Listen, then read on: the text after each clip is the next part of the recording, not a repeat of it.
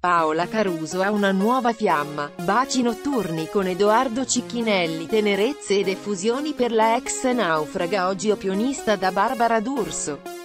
E dire che è in lizza per il ruolo da single di Temptation Island VIP. Paola Caruso, l'ex naufraga dell'Isola dei Famosi in questi giorni presenza fissa nei programmi di Barbara D'Urso, sembra aver trovato un nuovo amore.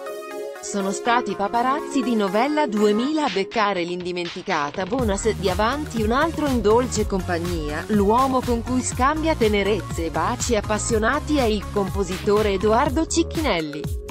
Dopo il momento di effusioni sotto casa del ragazzo, lui è salito e lei è tornata a casa da sola. Gli amori di Paola Caruso negli ultimi anni, la vita sentimentale della Caruso è stata piuttosto turbolenta.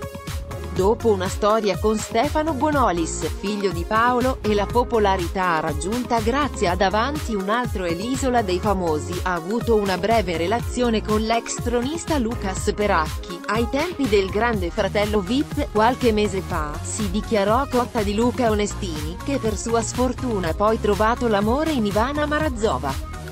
Durante la partecipazione a Supervivientes, l'isola dei famosi spagnola, Paola ha inoltre avuto uno sfortunato flirt con la star locale Ivan González. Ha poi rifiutato di partecipare alla versione iberica di Uomini e Donne proprio per la presenza in trasmissione di González. Non farà Temptation Island VIP, naturalmente, se la frequentazione con Cicchinelli dovesse continuare, la Caruso non potrà vestire i panni della single tentatrice a Temptation Island VIP.